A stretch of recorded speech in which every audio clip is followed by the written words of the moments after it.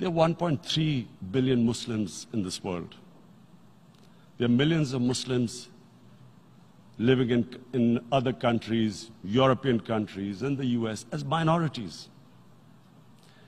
Islamophobia since 9 11 has, has grown at a pace where it is alarming.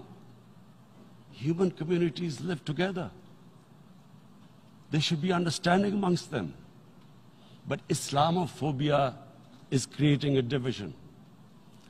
Muslim women wearing hijab, it's become an issue. It's become an issue in some countries.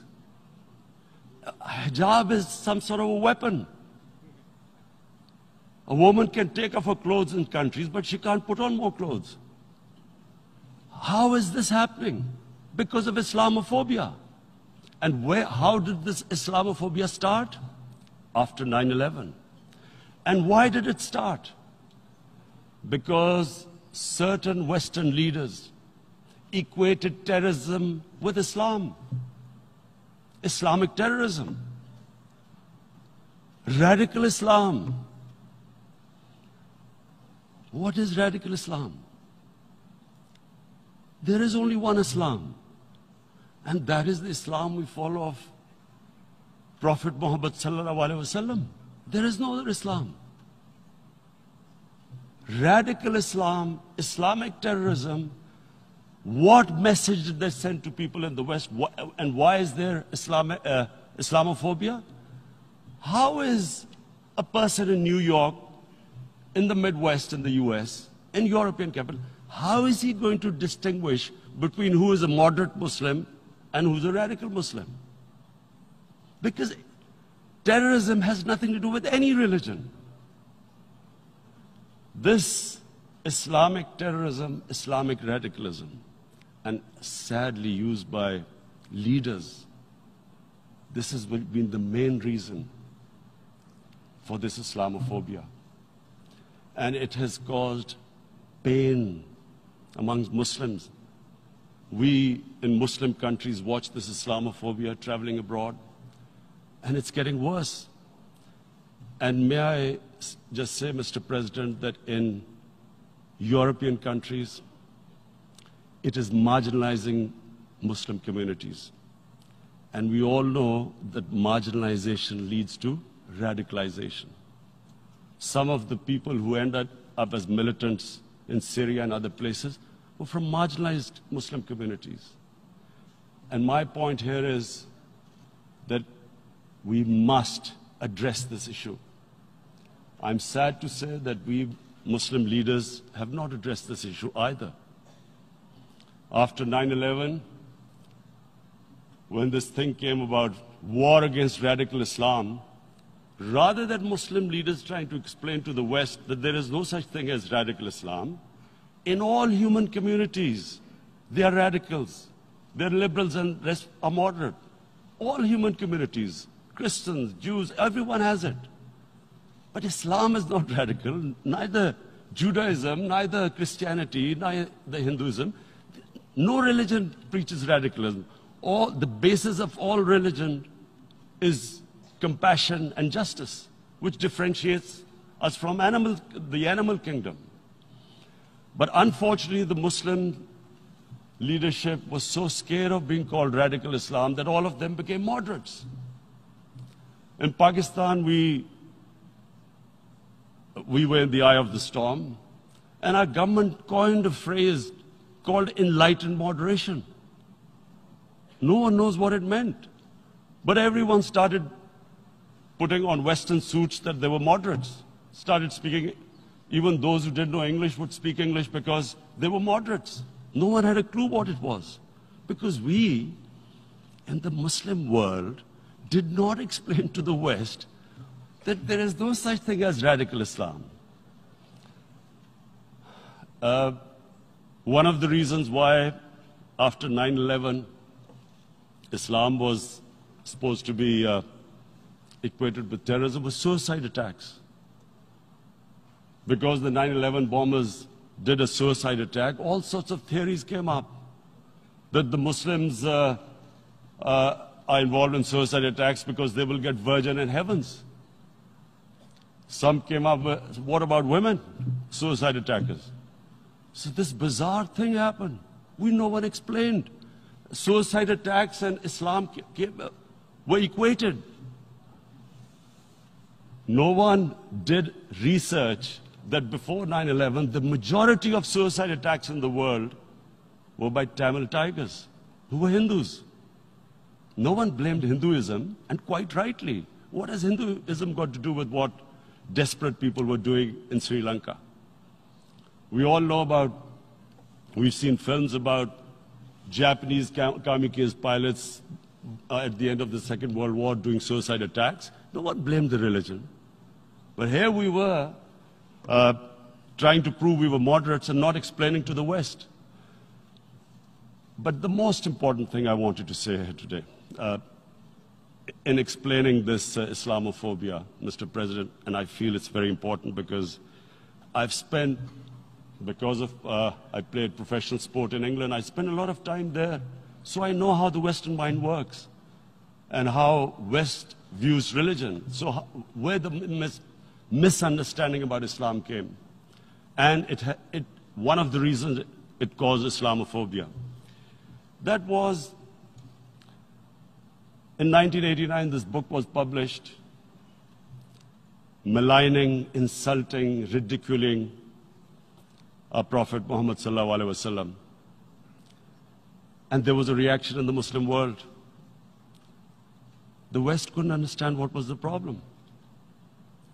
Because in the West, because I have spent so much time in the West, religion is perceived completely differently. They don't, they don't look upon religion like we do. And so, Islam was supposed to be an intolerant religion. It was against freedom of expression. And Islam took a real beating 30 years ago. I still remember it became a watershed.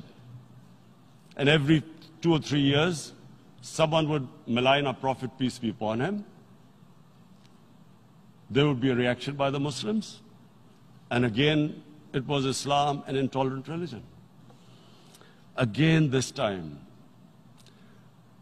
I, I blame a certain section of the uh, people in the West who deliberately provoked this, knowing the impact it would have. But the majority of the people in the West didn't understand. This is where, again, Muslim leadership let the Muslims down. We should have explained to them what a prophet, peace be upon him, means to us. So, in one minute, I'll try and explain what he means to us. A prophet was the witness to the divine book, the Holy Quran. The Holy Quran is the book of guidance for Muslims, and the Prophet's life was living the Quran. He was an example of what the Quran guided us to be. So, he is the ideal we all try to get to. The Prophet created the state of Medina, the first state in Islam. That state was the basis of a Muslim civilization which became the predominant civilization for the next 700 years. And what was that state? I hear such strange things about Islam that it is against women, it's against minorities. The first state of Islam in Medina, most, it was the first time a welfare state was set up. The state took responsibility of the weak, widows, orphans, poor people, handicapped. It taxed the rich, spent the money on the poor.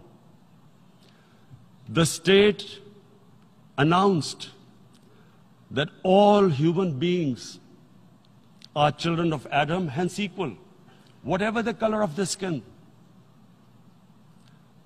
The state announced, the prophet announced that, and slave, slavery, the whole system depended on slavery as it did for many years uh, in the Western societies. The Prophet said that one of the greatest deeds is to free a slave. But it, because the society depended on, on slavery, he said, but if, but if you have to treat them as an equal member of the family.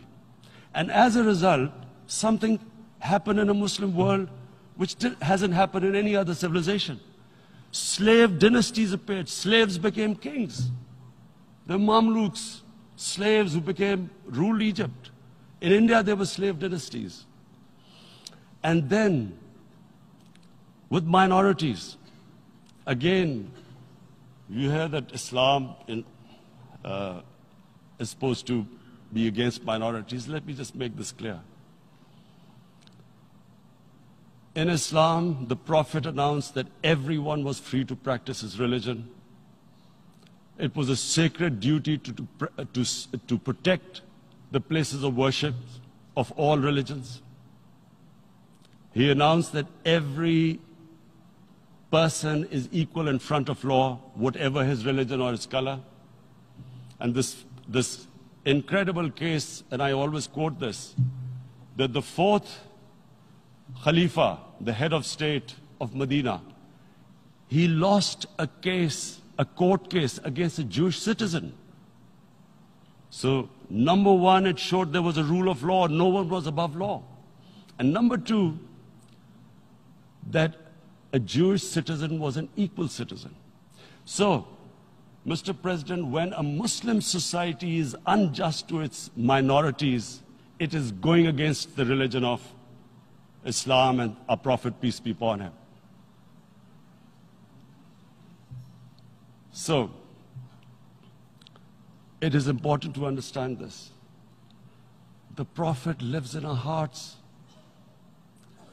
When he's ridiculed, when he's insulted, it hurts. The, as we human know, we human beings understand one thing the pain of the heart is far, far, far more hurtful than physical pain.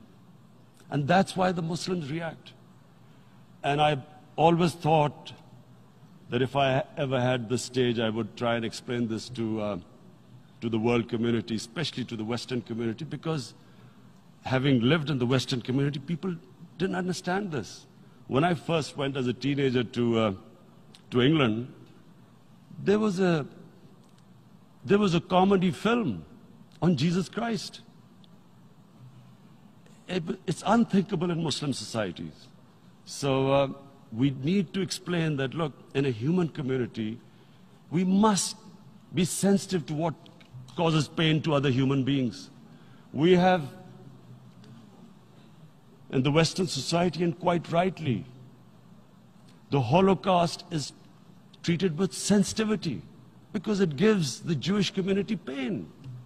That's all we ask.